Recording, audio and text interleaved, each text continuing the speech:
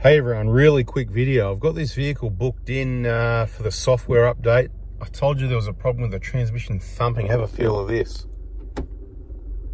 That one wasn't too bad. Let's go reverse. See, smooth. It just really jerks into drive. Very whiplashy, particularly sometimes worse than others. If we go backwards a little bit and then it's just a real thump into drive. So we're going to get the software update happening in the next hour. And uh, once it's all done, I'll give you whatever information I can and let you know if it fixed it. I wouldn't see why not. It's fine going into reverse. See, no movement. Drive, just terrible. Maybe you can even hear it.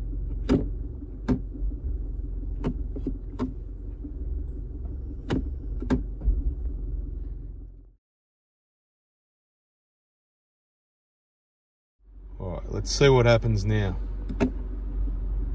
Reverse, good. Uh, oh, how it's meant to be, look at that. Beautiful.